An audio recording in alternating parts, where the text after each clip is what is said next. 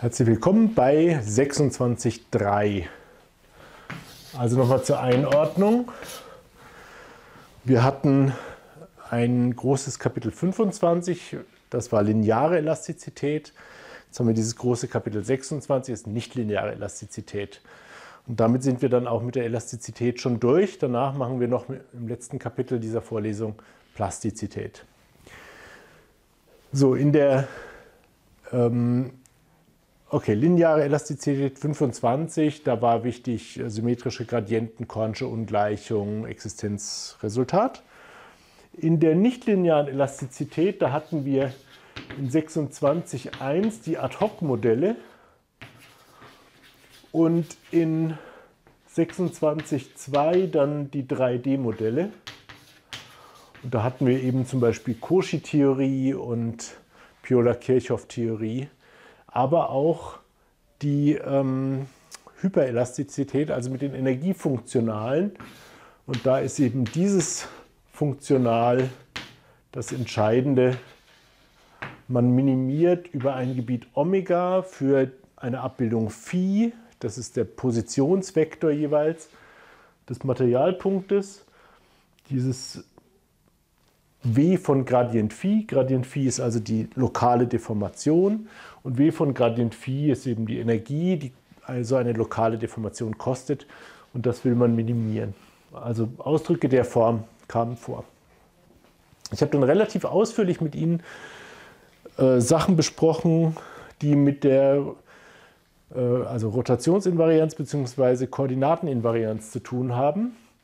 Und die drücken sich darin aus, dass W von R mal A gleich W von A sein soll. Also die Energie einer Deformation soll dieselbe sein wie die Energie von Deformation und dann noch rotiert. Also das ist gemeint für alle A, aber für Rotationen R, kurz R in SON.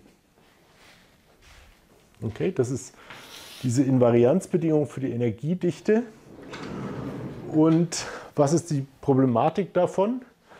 Die Problematik ist, dass das die Konvexität zerstört. Ja, also ich male das mal einfach auf. Wir haben im Raum der Matrizen den Raum der Rotation. Und das mache ich jetzt symbolisch mal so, dass ich hier eine Kreislinie zeichne und das sollen die Rotationen sein. Diese, dieses Bild ist in zwei Dimensionen komplett richtig. Das sind nämlich die Matrizen, 2 Kreuz 2 Matrizen.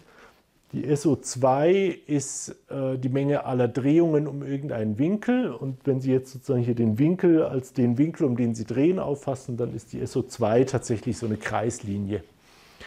Aber stellen Sie sich ruhig, irgendwie versuchen Sie es so im abstrakten Raum, im, also wenn das Ganze der R hoch n Kreuz n ist, ja, das ist natürlich jetzt auch insofern ist es im Zweidimensionalen natürlich auch nicht so einfach. Das ist nicht der zweidimensionale Raum, sondern es ist der R2 Kreuz 2, der Raum aller 2 Kreuz 2 Matrizen. Und da drin jetzt die Rotation, aber SO2 ist eben eine Kreislinie. Okay, also Sie müssen es irgendwie abstrakt versuchen zu, zu sehen im Raum der Matrizen. SON, der Raum der Rotation. Okay, wie auch immer, jedenfalls würden wir normalerweise sagen, also wenn man mit einem nicht vorbelasteten Zustand startet, der Körper ist am Anfang in Ruhe und das kostet keine Energie. Ja, Energie ist immer relativ zu dem Ausgangszustand. Also die Identitätsmatrix, wenn Phi die Identität ist, gerade in Phi ist auch die Identität, diese Identitätsmatrix hat die Energie 0. Also W von der Identität, das ist jetzt die Identität in R hoch n kreuz n, gleich 0. Und damit nach dieser Regel, W von Identität ist W von Rotation mal Identität, W von allen Rotationen ist 0. Ja, und hier dieses SON ist also eine Linie im Raum und da ist W gleich 0 auf dieser Linie. Jede andere Deformation kostet Energie. Also in irgendeinem Punkt außerhalb würden wir sagen, W ist größer 0. Und selbst innerhalb würde ich auch sagen, einen Körper zu stauchen, ja, also ist jetzt nicht so, dass es außen und innen überhaupt so gibt, aber ja, machen wir das Bild, also ein das Stauchen des Körpers kostet auch Energie. Alles, was nicht gerade eine Rotation ist, kostet Energie. Gut. Ähm, diese Funktion W kann dann nicht konvex sein. Ja, versuchen wir das mal wirklich streng einzusehen. Warum kann W nicht konvex sein? Ja, Sie nehmen zwei Rotationen. Die Energie ist jeweils 0. Jetzt nehmen Sie eine Linearkombination der Rotationen, dann sind Sie irgendwo hier. Das Ergebnis ist jedenfalls keine Rotation, egal was es ist, aber es ist keine Rotation. Und wenn es keine Rotation ist, ist das W größer 0. Dann ist also W an diesem Punkt größer als die Konvexkombination der Ws an diesen zwei Punkten, was 0 ist. Also ist W nicht konvex. Also ein W, was die physikalischen Eigenschaften hat, die hier stehen, ist nicht konvex. Und dann ist eben die Frage, wie machen wir Variationsrechnung, wenn der Integrant oder diese nichtlineare Funktion hier, wenn die nicht konvex ist. Also hier wollen wir jetzt schreiben äh, f statt w. Einfach ein anderer Name, weil für mich in der Variationsrechnung dieses der Integrant immer f ist. Wenn man dann ganz viel Elastizitätstheorie macht, dann nennt man es irgendwann doch w. Aber das typische Funktional der Variationsrechnung ist ja das hier, dass man dieses Funktional betrachtet. Ich schreibe also auch u statt phi. Einfach damit wir hier so die, die Standardnamen haben und alles äh, wiedererkennen. Das f ist eben nicht konvex, sondern soll, also wir denken daran, dass es eben äh, invariant unter Rotationen ist und deswegen nicht konvex. Aber das ist jetzt für uns eigentlich gar nicht so wichtig. Es ist einfach nur so, wir müssen jetzt mit einem f arbeiten, was nicht konvex ist. Und das Ziel ist, dass die Minimierung dieses Funktionals, das nenne ich jetzt mal a von u, a von u wird minimiert, dass das lösbar ist. Also die lange Version von diesem Bild hier ist, das Funktional a hat einen Minimierer u, ja genau, doch, Funktional, mehr ist es nicht. Das Funktional a hat einen Minimierer u und den suchen wir dann. Das ist dann die physikalisch richtige Deformation. Okay, also jetzt haben wir uns ein bisschen, wir sind zwar gestartet von 3D-Elastizität, das sieht so aus, ich habe nochmal daran erinnert, wie das ist mit den Rotationen und der Rotationsinvarianz, aber jetzt haben wir uns eigentlich ziemlich davon gelöst. Uns geht es jetzt einfach nur darum, wir haben hier so das typische Variationsfunktional. Also ich mache in partielle 2 Variationsrechnungen, mache ich eben äh, dieses Funktional und zeige, dass man das minimieren kann, wenn f konvex ist. Das ist sozusagen die Standardtheorie. Wenn das Funktional konvex ist, aber wenn f konvex ist, ist auch das Funktional konvex, dann kann man das wunderbar minimieren. Und jetzt wollen wir einen Fall betrachten, wo das f nicht konvex ist und trotzdem können wir das minimieren. Insofern verlassen wir jetzt ganz diese, diese Welt von Modellierung, Transformation und sowas, sondern wir haben jetzt ein, so ein rein mathematisches Problem hier stehen. Ein Variationsproblem mit nicht konvexem f. Okay. Wie behandeln wir das? Was, ich erinnere jetzt da nur mal an die Ad-Hoc-Modelle. Die Ad-Hoc-Modelle, da hatten wir schon diesen Effekt, dass wenn wir eine Schnur, die in Ruhelage sagen wir, die Länge 1 hat, da sagen wir jetzt, die Endpunkte sollen bei 0 und 0,8 liegen, dann wird die Schnur irgendwie so da liegen. Das kennen Sie alles. Wenn Sie eine Schnur auf den Tisch schmeißen, dann ist die nicht gerade. Ähm, die geht einfach irgendwie hin und her, die sieht nicht ein, warum sie sich zusammenstauchen sollte irgendwo. Die hat ja Platz im Raum, die oszilliert hin und her. Und so ähnlich ist es eben auch bei solchen Funktionalen, wenn das f nicht konvex ist, das werden wir jetzt gleich auch in einem Beispiel noch sehen, dann kann das U zum Beispiel so ein Laminat bilden. Ja, es macht also so immer, U geht immer ein bisschen hoch, ein bisschen runter, ein bisschen hoch, ein bisschen runter. Dann ist Gradient U immer mal so ein bisschen, ich tue es mal so, als wäre es nur ein Vektor, zeigt in die Richtung, in die Richtung, in die Richtung, in die Richtung. Ja, in Wirklichkeit sind es immer Matrizen. Ähm, aber so, dass das klein ist. Also so Mikrostrukturen, daran soll sie das hier auch ein bisschen erinnern, so Mikrostrukturen, wo immer eine gewisse Ableitung verwendet wird, kann eine kleine Energie haben. Wenn sowas eine kleine Energie hat, dann können wir sowas nicht minimieren. Ja? Das ist jetzt kein Beweis, aber ähm, es ist eben so, wenn Sie das minimieren wollen, dann nehmen Sie normalerweise eine Minimalfolge, also eine Folge von Funktionen, die kleine Energie haben.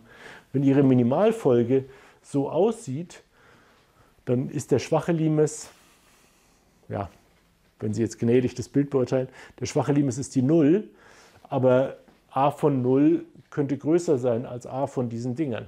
Ja, dann ist es also nicht schwach unterhalb stetig das a. Und dann haben Sie jedenfalls keine Chance, mit der Methode einen Minimierer zu finden, dass Sie sagen, betrachten wir eine Minimalfolge und den Limes davon. Okay. Also wir haben hier ein Problem, wenn f nicht konvex ist und diese Sache, die unglaublich viel Mathematik und unglaublich viel schöne Mathematik generiert hat in den letzten mindestens 40 Jahren, eher mehr. Aber das müsste ich mal nachschauen. Ich könnte es jetzt hier auch nachschauen, aber äh, ich will jetzt die Zeit gar nicht verlieren. Also 40, 50 Jahren ist, dass ähm, verschiedene Leute, aber ein wichtiger Name ist Morey, sind auf die Idee gekommen, dass man das, den Begriff der Quasikonvexität benutzen sollte.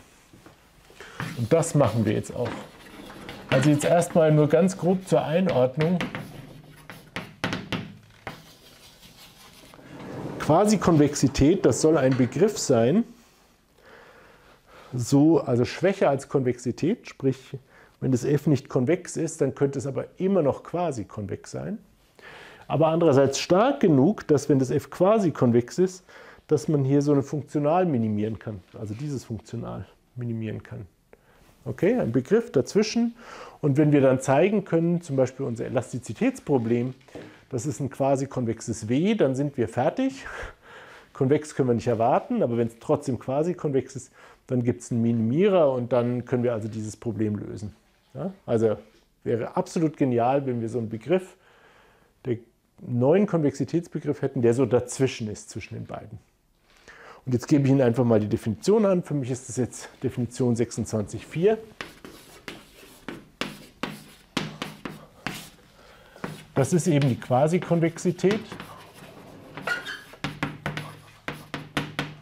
Also wir reden hier von einer Abbildung f Die Abbildung F ordnet immer einer Matrix, also einer n kreuz n Matrix, eine reelle Zahl zu. Ähm, das könnte jetzt erstmal noch in R sein. Später werden wir nicht negative F betrachten, aber ich denke, hier lasse ich das noch frei. Ja.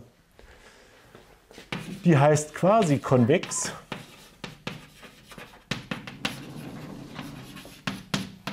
Falls. So, falls was gilt? Und jetzt ist an dieser Stelle der Trick, aber man muss sich jetzt quasi entscheiden, mache ich eine Definition eher, die nah dran ist an Konvexität oder eine Definition, die nah dran ist an dieser schwachen Unterhalbstetigkeit, die ich hier haben will. Man entscheidet sich dafür, sozusagen daran zu denken, was man damit hinterher machen will. Falls für alle Omega-Teilmenge Rn offen und für alle wenn ich mich auf ein Gebiet festgelegt habe, für alle U oder Phi, Phi nehme ich, Phi aus, äh, in welchen Raum gehe ich jetzt? Ähm, W1 unendlich mit Nullrandwerten, W1 unendlich mit Nullrandwerten. Auf Omega gilt So, und jetzt schreibe ich hier hin, ach ja, und alle ähm, Xi eine Rn Kreuz n Matrix, also für alle Phi und alle Xi, soll f von Xi kleiner gleich sein dem Mittelwert über Omega f von Xi plus eine Störung dx. Schauen wir vielleicht da erstmal drauf. Da, ich hoffe, Sie haben alle die Jensensche Ungleichung gut im Kopf. Das sieht verdammt nach Jensenscher Ungleichung aus. Also, aber selbst wenn Sie Jensen nicht so gut im Kopf haben, das können wir eigentlich ganz einfach verstehen. Hier wird f an verschiedenen Punkten, ich habe ja hier noch nicht fertig geschrieben, f wird an verschiedenen Punkten angeschaut. Dann wird f an verschiedenen Punkten ausgewertet. Also ich mache mal erstmal noch das banale Bild für konvexe Funktionen. Konvexe Funktion heißt, werte f hier aus und hier und dann nehme ich den Mittelwert, dann kriege ich diesen Wert raus. Sowas wird hier rechts gemacht. Ich nehme f an verschiedenen Werten, da den linken und den rechten Wert und dann nehme ich einen Mittelwert. Dieser Mittelwert ist größer als das f von der Zwischenstelle. Also hier wäre jetzt das Xi und das ist das f von Xi und das f von Xi ist kleiner als die Mittelung der Werte von f. Bei der Mittelung muss ich jetzt natürlich aufpassen, dass ich wirklich also genauso viel nach rechts wie nach links gehe. Das mache ich aber, wenn ich jetzt hier Gradient Phi schreibe. Also ich schaue immer mal links und rechts. Aber, also kleine Bemerkung zu diesem Ding hier, wenn Sie Gradient Phi aufintegrieren über Omega, dann können Sie partiell integrieren, weil das Phi nämlich Randwerte 0 hat, steht hier. Ja, dann fällt der Gradient auf die 1-Funktion und da kommt eine 0 raus. Also Gradient Phi aufintegriert verschwindet. Das ändert sich natürlich auch nicht, wenn Sie noch durchs Volumen von Omega teilen. Also der Mittelwert dieser Störung ist 0. Ja, Sie, Im Mittel gehen Sie genauso viel, schauen Sie genauso viel rechts von Xi wie links von Xi in diesem Bild. Dann ist hier wirklich ein Mittelwert und dann ist das kleiner gleich dem. So, das ist jetzt die Forderung. Habe ich da irgendwas vergessen? Nee. Gut. Also das ist die Definition von Quasi-Konvexität. Jetzt habe ich also den ersten Kommentar schon gemacht. Wenn Sie an Jensen denken, dann, dann sagen Sie, okay, das sieht so ähnlich aus wie die Folgerung aus Konvexität. Also sprich, ich erwarte, dass wenn f konvex ist, dass das dann gilt. Das ist ja schon mal gut. Ja, also wenn f konvex ist, dann soll es ja gelten, denn quasi Konvexität soll was Schwächeres sein als Konvexität. Also das wird einfach mit Jensen folgen. Gut, das ist die, der eine Kommentar dazu. Der andere Kommentar ist, können wir erhoffen, dass wir, wenn jetzt f quasi konvex ist, dass wir dann eine schwache Unterhalbstetigkeit bekommen? Ja, natürlich, das ist ja wie zugeschnitten da drauf.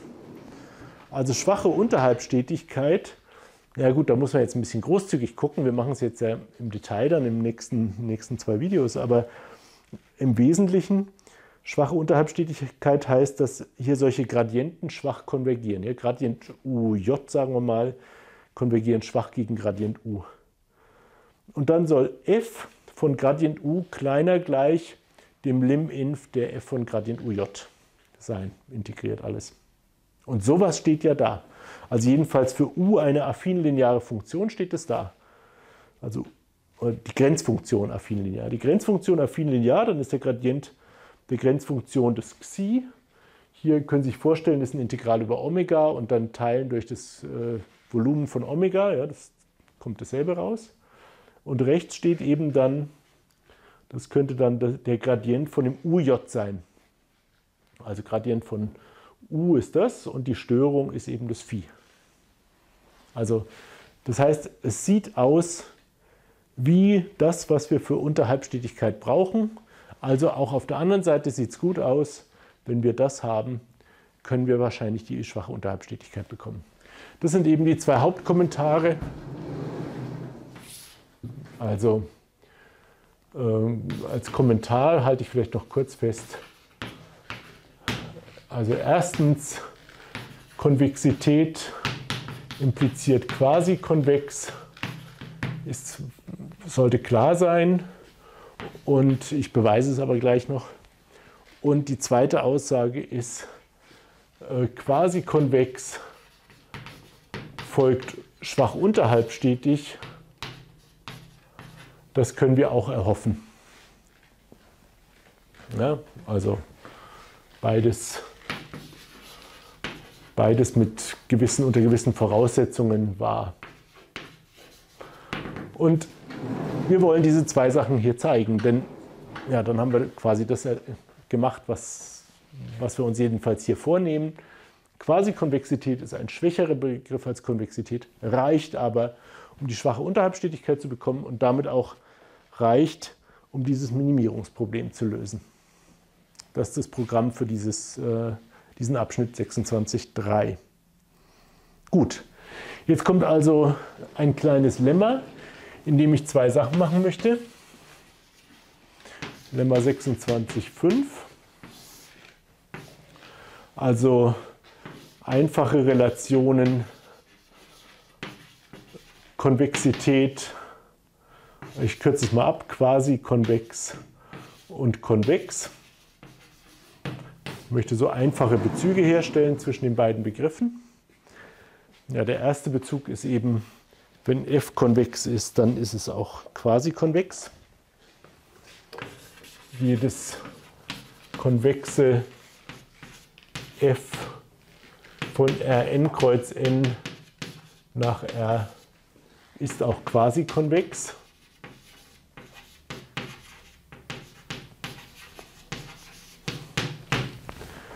Okay, das ist die eine einfache Aussage. Und dann gibt es noch eine zweite einfache Aussage, die jetzt sozusagen am anderen Ende dran klebt. Also die Konvexen sind quasi konvex, aber ich kann auch noch sagen, jede quasi konvexe ist, wir führen jetzt den Begriff ein, ist auch Rang 1 konvex. Jedes quasi konvexe f ist Rang 1 konvex. Und was soll das heißen, muss ich jetzt erklären.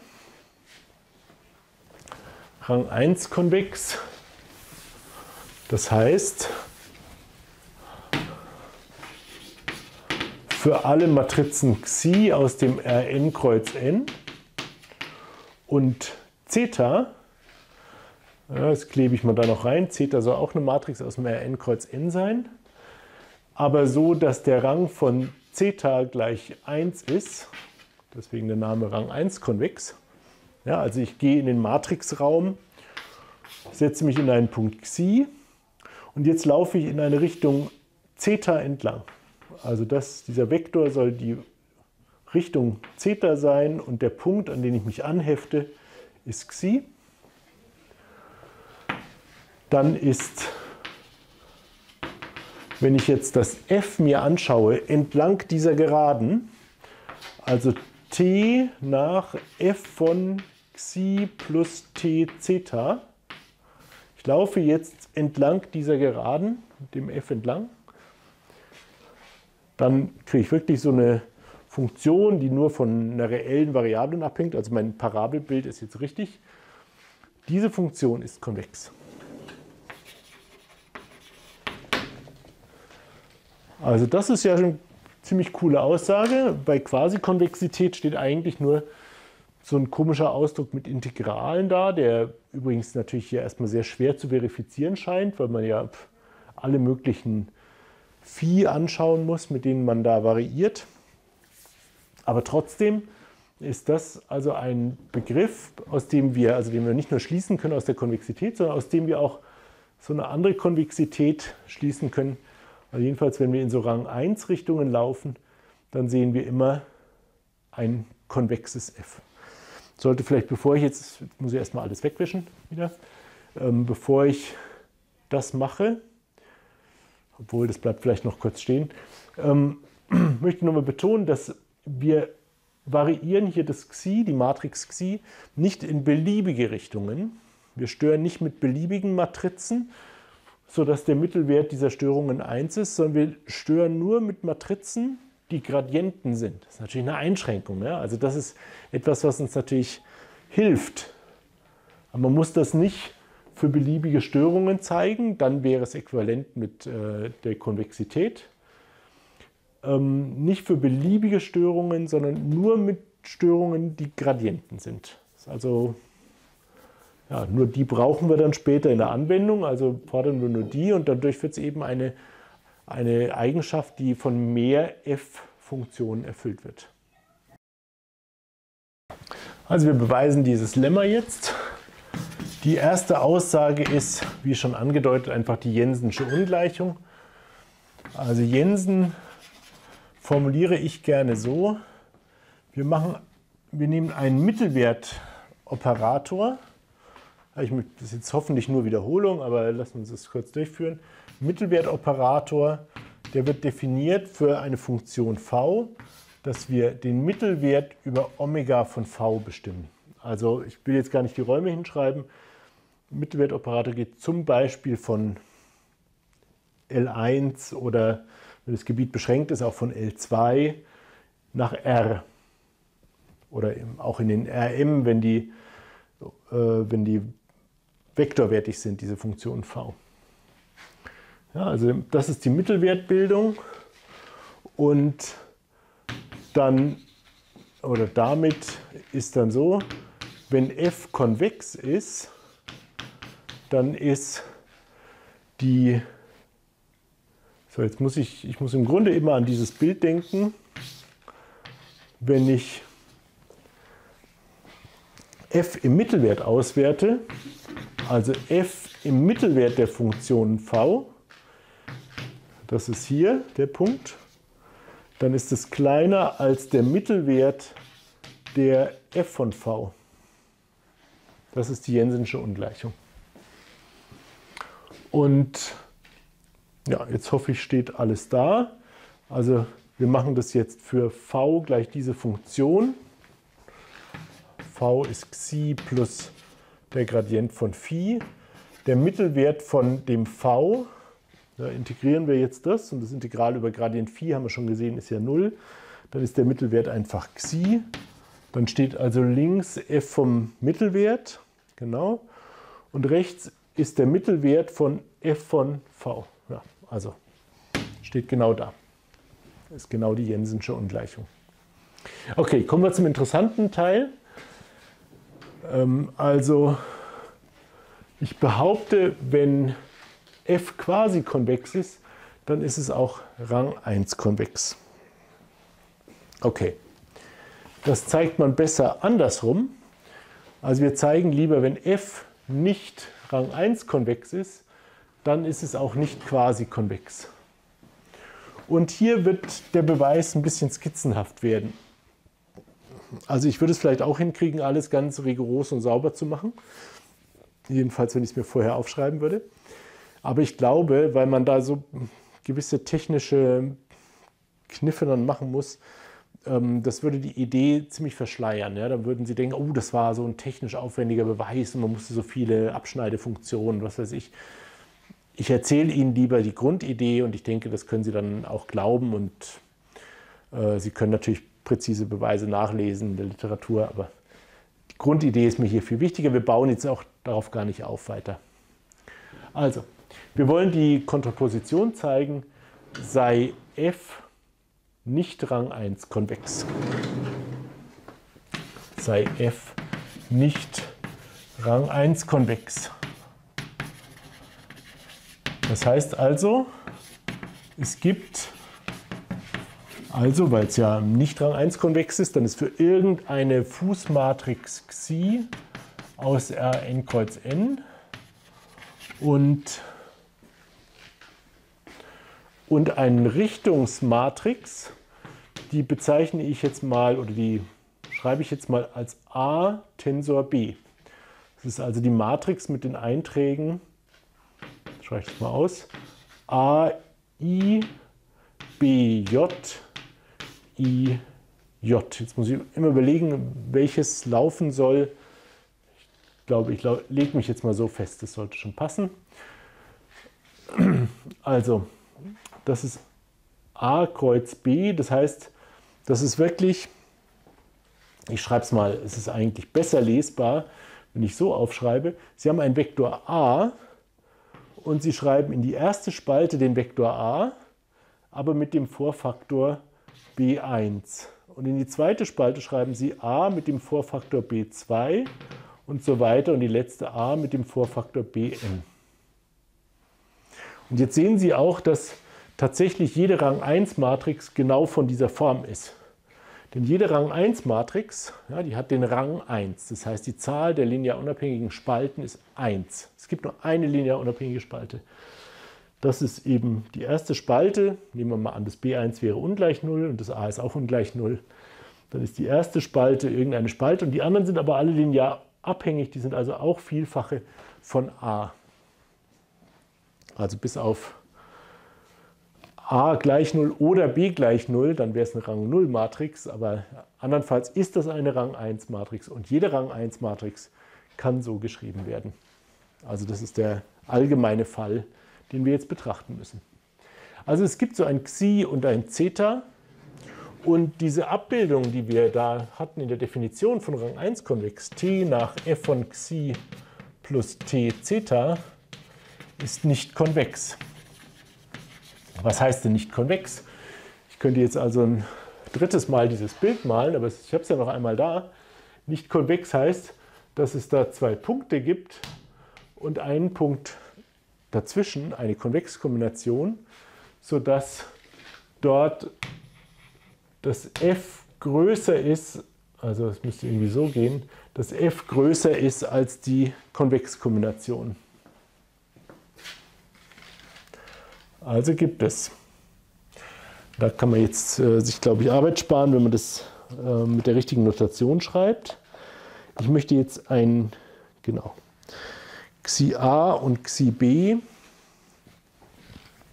Ja, also der eine Punkt, den nenne ich Xi A.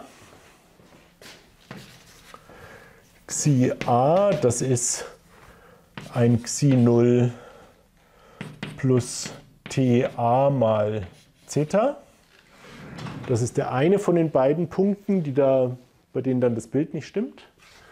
Und Xi B ist ein, das Xi, oh, Entschuldigung, das Xi 0 ist einfach ein Xi, das ist mein Fußpunkt, den habe ich ja schon festgelegt. Das ist mein Xi plus TB mal Zeta. Und es ist eben f von Xi, ja, ich würde erwarten bei einer konvexen Funktion, dass f von Xi kleiner gleich der Konvexkombination ist. Jetzt ist es aber nicht kleiner gleich, sondern größer als die Konvexkombination. Also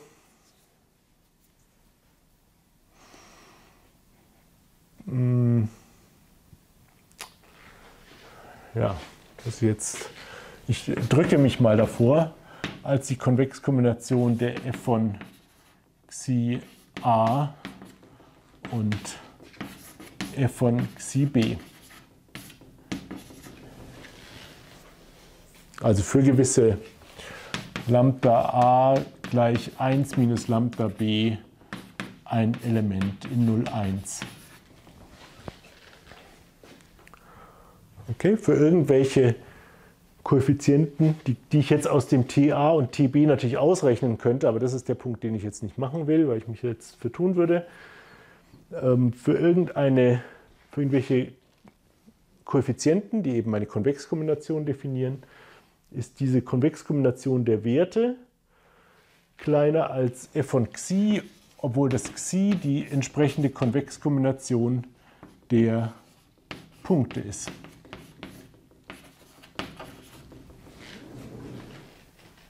Das ist ein Lambda b oder 1 minus Lambda a. Und ähm, was wissen wir noch? Wir wissen, dass xi b minus xi a ein Vielfaches von Zeta ist, also Rang 1 hat.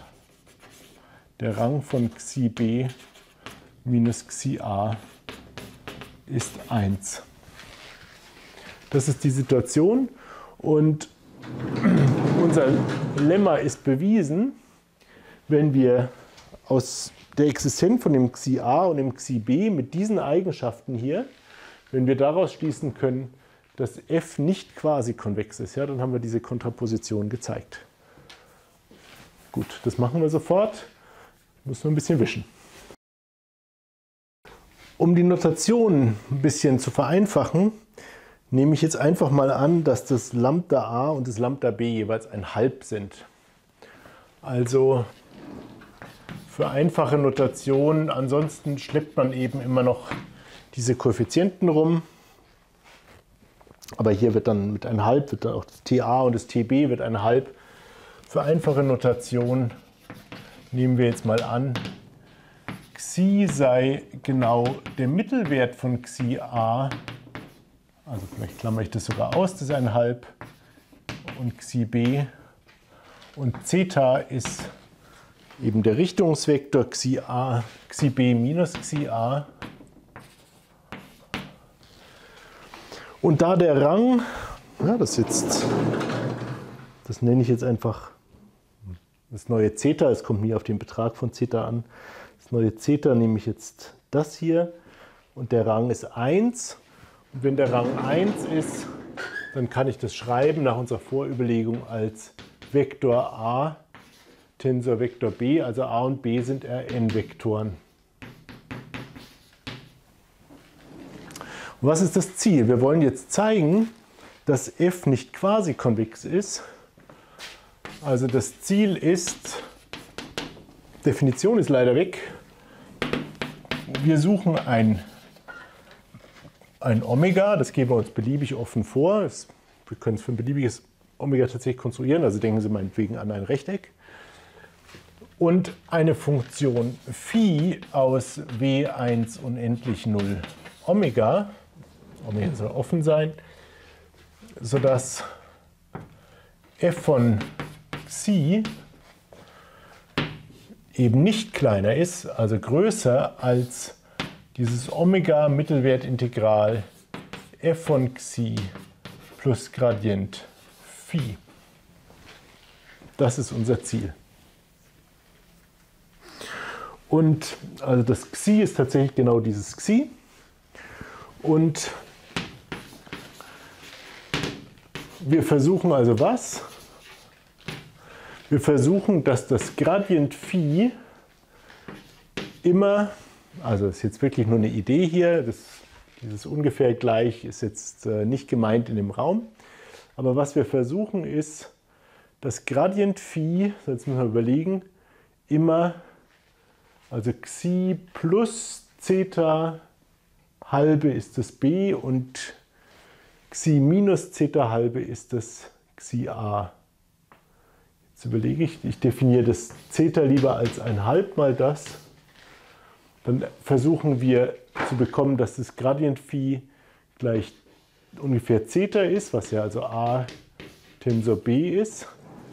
Wenn wir das erreichen, Xi plus, achso, hier plus minus, mal das eine, mal das andere, dann Xi plus Zeta ist ja, okay, jetzt müssen wir hier das plus das rechnen.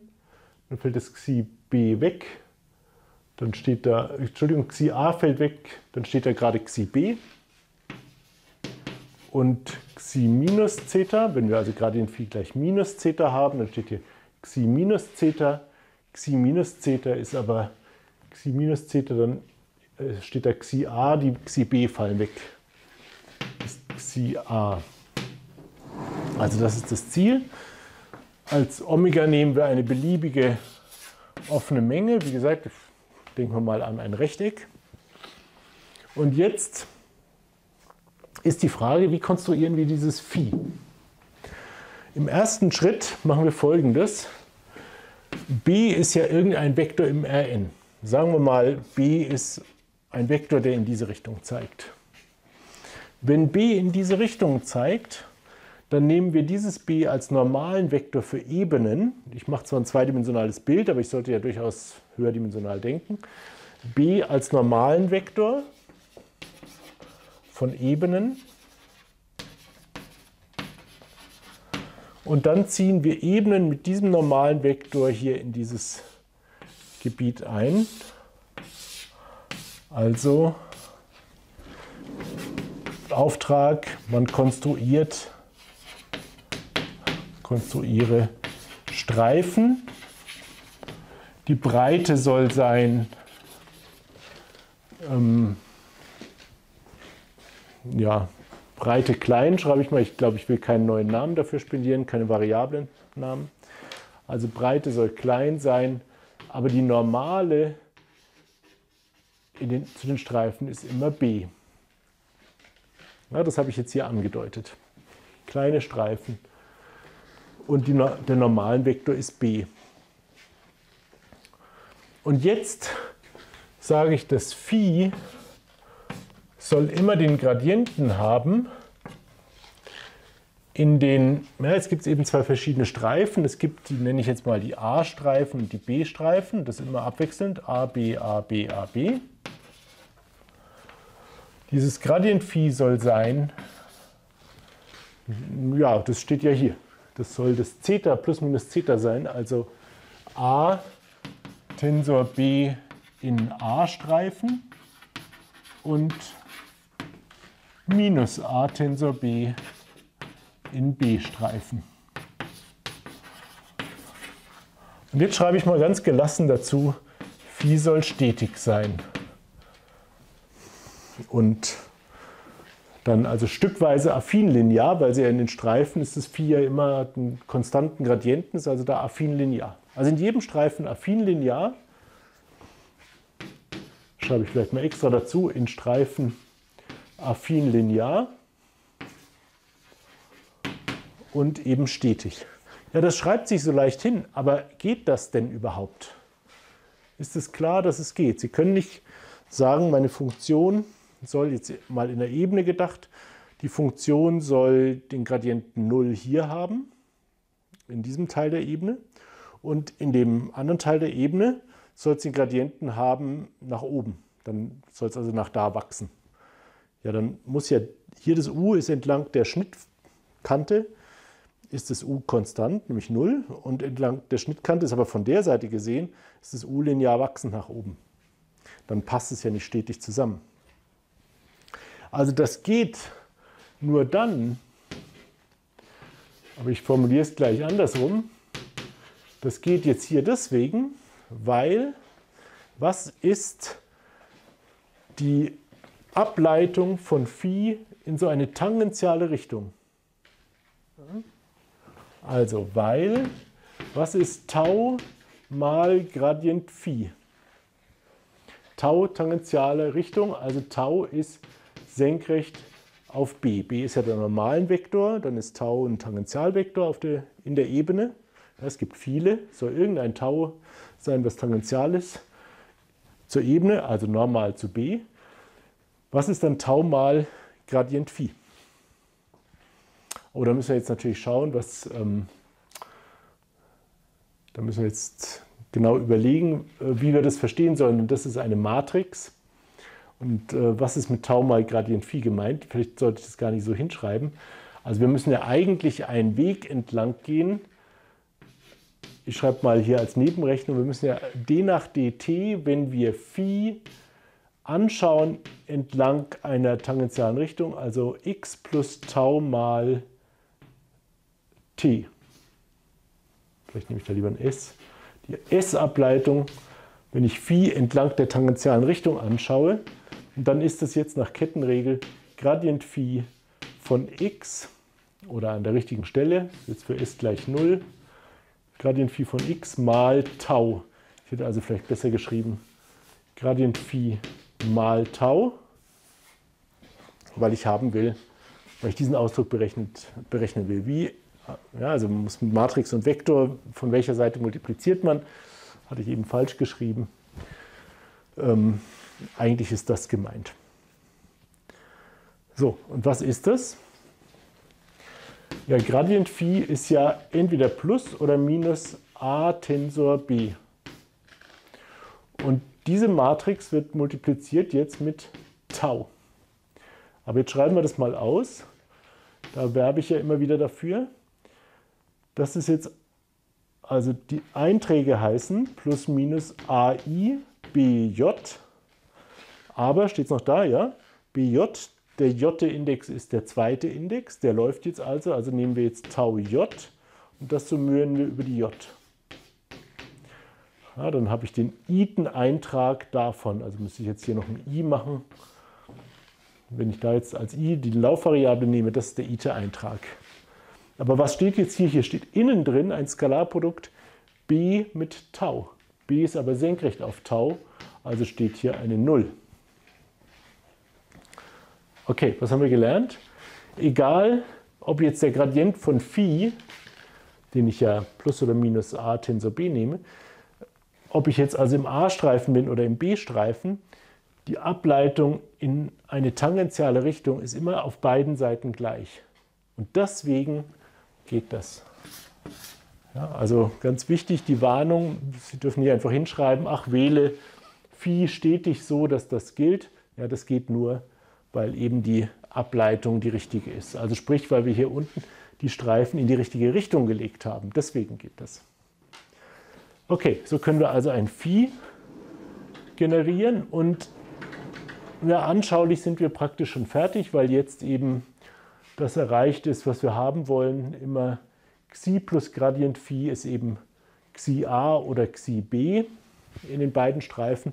Und deswegen ist das was da auf der rechten Seite steht, im Wesentlichen immer f von xi a oder f von xi b. Aber so haben wir es ja gemacht, dass f von xi a plus f von xi b im Mittelwert ist kleiner als f von xi und das widerspricht der Quasi-Konvexität. Für den Beweisschluss wische ich nochmal. So, wir wissen schon, also im, im Grunde sind wir fertig. Was wird denn noch nicht erfüllt? Wir haben noch nicht dass Phi in W1 unendlich 0 Omega ist. Also das ist es einfach nicht, denn das Phi ist ja stückweise affin linear. Das heißt hier am Rand, ähm, ja, da geht es immer hoch und runter in so einem Zickzackmuster und ist eben nicht 0. Aber wir wollen gerne ein Phi finden, was so ist. Nenne ich das mal Phi Epsilon. Und dazu müssen wir uns überlegen, wie groß ist denn die Funktion Phi so? Was für Werte nimmt die an? Also wenn die Streifen mit Breite, die Breite Epsilon haben, ich möchte also doch eine Variable einführen. Ja, die Streifen, die wir da eingeführt haben mit A und B Phase, ähm, die sollen die Breite Epsilon haben. Ähm, wie groß ist dann Phi? Also wir wissen schon, die tangentiale Ableitung von Phi ist das hier, ist 0. Also wenn Sie jetzt den Streifen entlang gehen von hier nach da oben, dann ist das Phi, hat überall denselben Wert. Dann geht Phi irgendwie hoch nach da und hat dann einen anderen Wert. Und diesen Wert können wir ermitteln, indem wir fragen, was ist denn Gradient Phi mal, und jetzt gehen wir mal in die normalen Richtungen. Und wenn wir jetzt in der A-Phase sind, dann ist Gradient Phi mal b, das ist irgendwas. Das geht jetzt ja mit derselben Formel, das ist der A-Vektor, also das ist ja der A-Vektor mal b Betrag Quadrat. Also das ist die Ableitung von Phi in die normalen Richtung in einer A-Phase. Aber in der B-Phase ist es genau minus das. Das heißt, das Phi sieht, mache ich jetzt nochmal symbolisch, wenn ich jetzt hier nach rechts in die vertikale Richtung gehe, also nenne ich das mal auch wieder S und ich male hier an, was ist Phi von einem Punkt x0 plus s mal b, dann sehe ich immer diese Ableitung also es ist immer was Positives und dann aber runter. Und dann was Positives und dann wieder runter. So sieht das aus. Das ist so ein Zickzackmuster. Und wenn ich jetzt die Streifen aber mit der Breite Epsilon mache, also jeder Streifen hat die Breite Epsilon, hier ist jetzt so ein B-Streifen, dann ist hier wieder so ein A-Streifen. die haben alle die Breite Epsilon und sind alle gleich breit, dann wackelt es halt nur so hin und her und dann sind die Werte von Phi, ich schreibe das mal so pseudo-mathematisch hin, die, die maximalen Werte von Phi, also die C0-Norm von Phi, die ist von der Größenordnung Epsilon. Also indem ich kleine, dünne Streifen nehme, viele dünne Streifen, hat Phi nur eine kleine Norm. Und dann nehmen wir als Phi Epsilon eben, wird gesetzt einfach das Phi mal eine Abschneidefunktion Phi Epsilon. Das sei eine Abschneidefunktion. Die soll eben Nullrandwerte haben. Können wir also cc unendlich auf dem Gebiet Omega und Phi Epsilon gleich 1 auf einer großen Teilmenge. Spezifiziere ich jetzt gar nicht, würden wir jetzt also bei Würfeln einen großen Würfel nehmen, der da drin liegt. Auf einer großen Teilmenge. Und dann schauen wir uns die zwei Ausdrücke an, die wir jetzt letztlich anschauen wollen. Also für die Quasikonvexität haben wir da stehen f von xi. Und dann ist eben hier die Frage, was für ein Symbol da reinkommt. Und dann haben wir hier einen Mittelwert f von xi plus Gradient phi. Das wollen wir uns anschauen, das dx. Und das ist jetzt eben diese rechte Seite, also da ist noch die große Frage, was da reinkommt. Ähm, die rechte Seite, das ist eben im, interen, Im inneren Integral, sagen wir mal, die große Teilmenge ist Omega', ist das Omega' und da ist es f von, naja, da ist der Gradient Phi jetzt eben nach Konstruktion, also da ist der Gradient von Groß Phi Epsilon eben 0, weil das da konstant gleich 1 ist. Und dann ist Gradient, Entschuldigung, hier meine ich natürlich Phi Epsilon. Und dann ist der Gradient von Phi Epsilon eben der Gradient von Phi mal 1. Der Gradient von Phi ist aber entweder Zeta oder minus Zeta. Und dann ist es eben f von Xi b auf der Hälfte des Gebietes und f von Xi a auf der anderen Hälfte des Gebietes. Also wird hier der Mittelwert genommen auf diesem großen Teilgebiet. Und dann haben wir halt den Fehler. Und dann schreibe ich einmal den Fehler hin. Das ist also auf dem Randstreifen. Da ist es eben f von xi plus. So, und jetzt, achso, jetzt, ähm, ja, doch mal so. Gradient phi epsilon, den schreibe ich ruhig mal aus. Gradient phi epsilon hat jetzt zwei Teile. Das ist ein Gradient phi, phi epsilon und der Gradient könnte auf das Groß-Phi Epsilon fallen, Phi Gradient Phi Epsilon.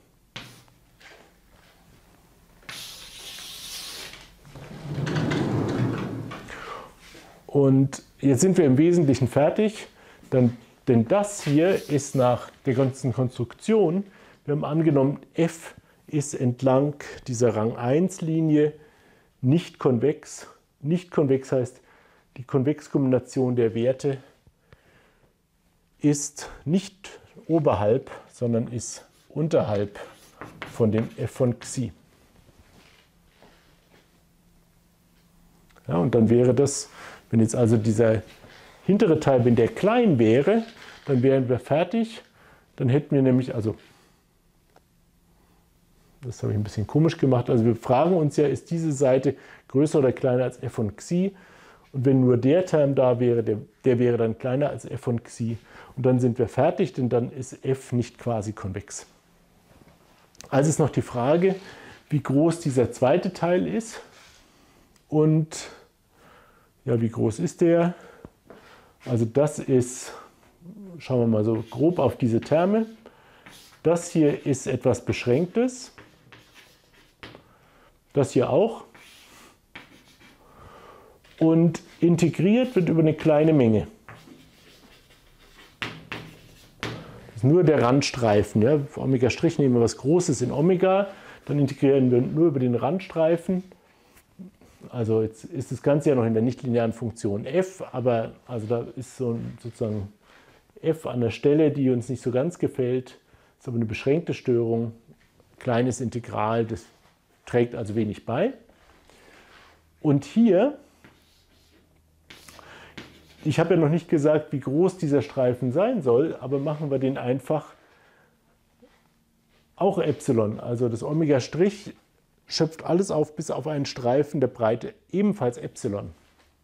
Wenn wir das machen, dann muss das Phi Epsilon vom Wert 1 in Omega' auf den Wert 0 am Rand runtergehen und das in einem Epsilon-Streifen, dann ist der Gradient also von der Ordnung 1 durch Epsilon. Das ist schlecht. Ja, das ist ein ganz steiler Gradient von der Abschneidefunktion in dem Randstreifen. Aber wodurch wir gewinnen, ist, dass wir uns ja gerade überlegt haben, dass das Phi nur von der Ordnung Epsilon ist, wenn wir die Streifen, also jetzt die inneren Streifen von der Breite Epsilon machen. Dann ist also das ganze Argument hier irgendwas Beschränktes.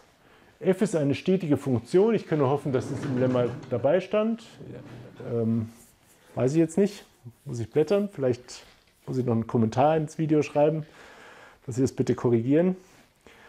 Also f muss stetig sein. Dann schauen wir uns f nur auf einer beschränkten Menge von Werten an. Dann ist f beschränkt und f ist beschränkt und äh, hier integrieren wir mal ein kleines Gebiet. Also ist dieser ganze Ausdruck hier klein.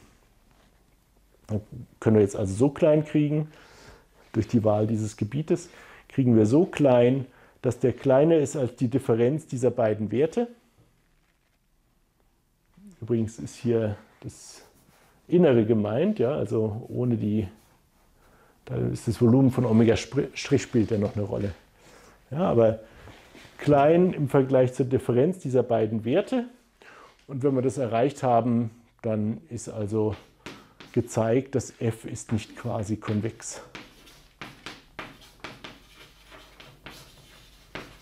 Und das war ja zu zeigen. Wir sind gestartet mit einem f, was nicht Rang 1 konvex ist und wollten zeigen, dass das f nicht quasi konvex ist durch die Konstruktion von so einer Störung Phi Epsilon, sodass eben diese Konvexitätsbedingung, Quasi-Konvexitätsbedingung nicht erfüllt ist. Okay. Ähm, gut, das ist, das ist diese Sache. Wir bauen jetzt darauf nicht auf. Deswegen habe ich mir auch die Freiheit genommen, das so lax und informell zu machen, hier diese, diesen Beweis. Ähm, was wir jetzt machen, wie gesagt, nicht darauf aufbauend, wir wollen jetzt zeigen, wenn ein f quasi konvex ist, dann ist auch dieses zugehörige Variationsintegral ähm, ein schwach unterhalbstetiges Funktional. Und wenn wir das haben, dann kann man auch das Minimierungsproblem lösen. Und dann eben Info von mir an Sie. Äh, viele Elastizitätsprobleme haben tatsächlich ein quasi konvexes f und sind also mit diesem Theorem lösbar. Gut, das sind jetzt dann die nächsten Videos 26, 3, B und C. Bis dahin. Minimaler Nachtrag und Korrektur. Also hier ist ein kleiner Fehler, der hätte mich jetzt nicht so sehr gestört, dass ich nochmal ein Videoschnitzel mache, aber wenn ich schon dabei bin. Ähm, diese Gleichheit stimmt natürlich nicht, wenn wir hier durch das Volumen teilen, also teile ich mal hier nicht durchs Volumen und dann müssen wir hier natürlich mit Maß von Omega mal f von Xi vergleichen. Ja, dann wäre das korrigiert. Die zweite kleine Korrektur ist, ich habe im Buch einfach äh, f quasi konvex nur definiert für stetige Funktionen. Also wir reden immer nur über stetige Funktionen, sodass quasi automatisch das Lemma auch nur ein Lemma über stetige Funktionen ist. Gut. Ähm, was ich aber noch sagen wollte, ist, so, jetzt war dann zwischendurch noch der Akku tot. Diese Konstruktion ist nicht nur eine nette Konstruktion, um diese Aussage zu beweisen, sondern die sagt eben wirklich etwas aus darüber, wie Minimalfolgen aussehen. Also wenn Sie ein f haben, was nicht Rang 1 konvex ist, dann finden Sie eben solche Gradienten a Kreuz b und minus a Kreuz b, die so zusammenpassend sind dass sie da so Laminate konstruieren können und diese Laminate haben eine kleine Energie. Das heißt, wenn Sie, andersrum gesprochen, wenn Sie jetzt dieses Energiefunktional minimieren wollen, dann sehen, sieht eine Minimalfolge typischerweise so aus. Es ist so ein Laminat, wo der Gradient eben hin und her springt. Denn die sind eben energetisch günstig. Und dann können Sie eben nie erwarten, dass Sie schwache Unterhalbstetigkeit haben, weil der schwache Limes von solchen Viehs eben zum Beispiel Nullfunktion ist oder eine affine Funktion und da hat äh, dieses Vieh hat eine größere Energie. Also Sie können schwache Unterhalbstetigkeit jedenfalls nicht erwarten, wenn Sie keine Rang 1 Konvexität haben. Das zeigt also, dass die Quasi-Konvexität schon ganz gut eingequetscht ist zwischen Konvexität, was sicher zu stark ist, Rang 1 Konvexität, ähm, wo Sie sicher sagen können, wenn das auch nicht erfüllt ist, dann ist auch keine schwache Unterhalbstetigkeit da. Ja, dazwischen liegt Quasi-Konvexität und die wird reichen für die schwache Unterhalbstetigkeit.